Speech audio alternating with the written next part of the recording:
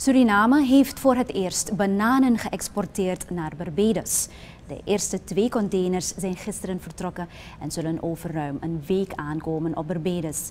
Een historisch moment voor het ministerie van LVV, zegt minister Rabin Permisser. Hij geeft aan dat Suriname hiermee zeker 30% meer opbrengsten binnenhaalt dan met de exporten naar Europa.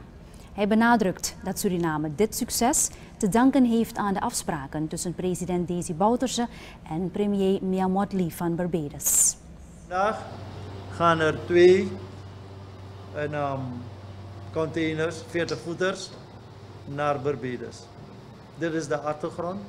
Maar om dit gerealiseerd te hebben, hebben we goede afspraken gemaakt met de afnemer. Financieel, dat is zeer solide. En um, er is al een, goede afspraken, geld dat ze van tevoren betalen, die, en dan wanneer het nu op het schip is, worden de stukken gestuurd.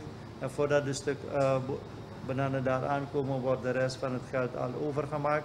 Dat soort zaken hebben we goed afgesproken. De prijs is goed. Uh, afgerond meer dan 30% beter dan dat we naar Europa sturen. Minister Robin Permisser van LVV gisteren op de haven. Suriname heeft voor het eerst bananen geëxporteerd naar Barbados.